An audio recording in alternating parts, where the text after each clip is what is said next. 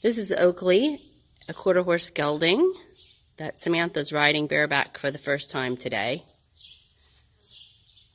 We just wanted to show you how well trained this boy is.